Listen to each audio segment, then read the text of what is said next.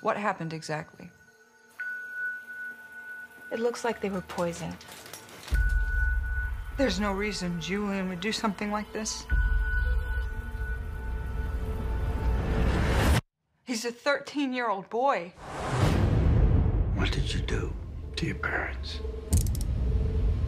They died. Makes you wonder, doesn't it? Your own kid killing you? It wasn't supposed to hurt. Julian? Something might have happened to him. What kind of parents go on a trip and don't pack a bag for their kids? What were they planning on doing with him? Why did you change your story? She's clearly hiding something. He's so far beyond anything you can understand. You have no idea.